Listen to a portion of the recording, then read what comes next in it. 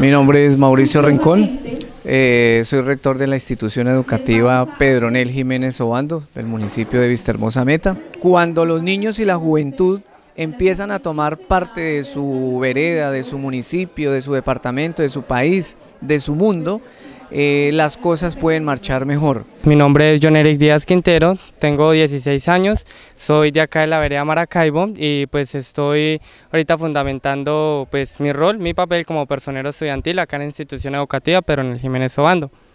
Pues a lo que me he dado cuenta es un poco las problemáticas que tenemos, es en la parte de infraestructura. La infraestructura, pues no contamos con una infraestructura adecuada para para pues el buen funcionamiento, el desarrollo de la educación, lo cual limita que se brinde pues una educación más integral.